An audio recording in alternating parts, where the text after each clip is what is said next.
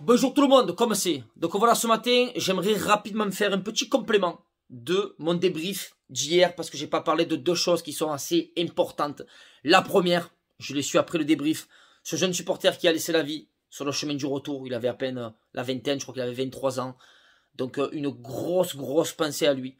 Voilà, j'espère que un bel hommage lui sera fait ce week-end, même si ça le ramènera pas. On est d'accord que c'est assez cruel de laisser la vie quand tu vas supporter ton club.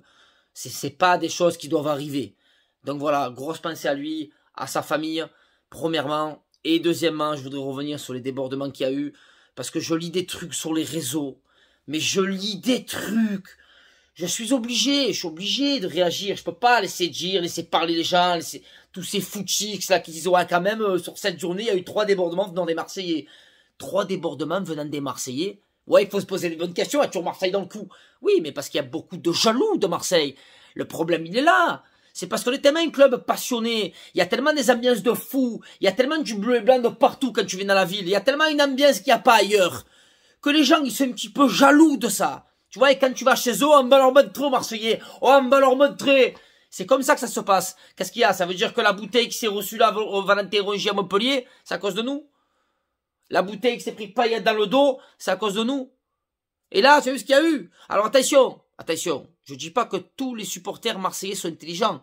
Euh, on n'est pas des exemples à Marseille, on est d'accord. Il y a aussi des gros cons dans les supporters marseillais. J'ai vu des bagarres entre supporters dans les virages. Des supporters cons, il y en a de partout. C'est le problème, ça. Mais moi, ce qui me fait chier, c'est qu'on accuse encore les Marseillais, alors que les supporters angevins, ils sont restés quand même 20 minutes après le coup de sifflet final. À un moment donné, j'ai envie de dire rentre à la maison, premièrement.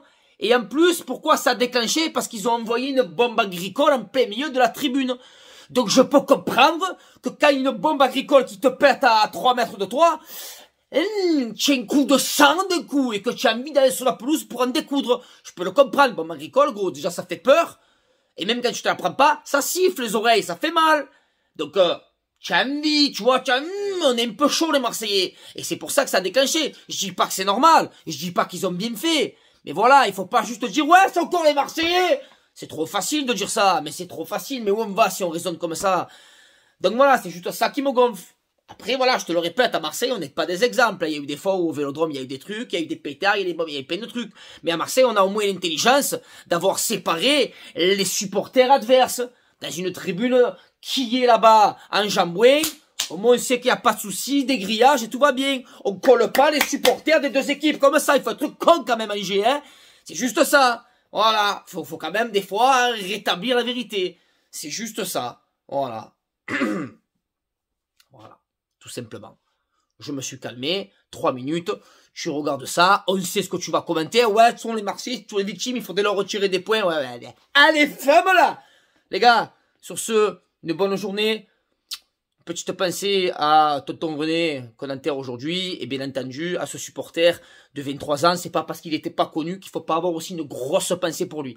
Allez les gars, bon courage à tous et allez l'OM.